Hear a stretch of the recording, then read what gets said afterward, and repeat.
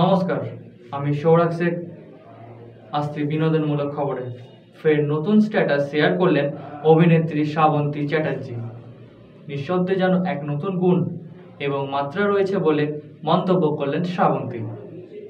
তিনি নিঃশব্দে ভাষা শুনতে শুরু করছেন এবং সেখান থেকে অনেক কিছু শিখতে শুরু করেছেন। নিজের ইনস্টাগ্রামে হ্যান্ডেলে নতুন ছবি শেয়ার করে সেখানে নিঃশব্দের কথা তুলে ধরলেন শ্রাবন্তী চট্টোপাধ্যায়।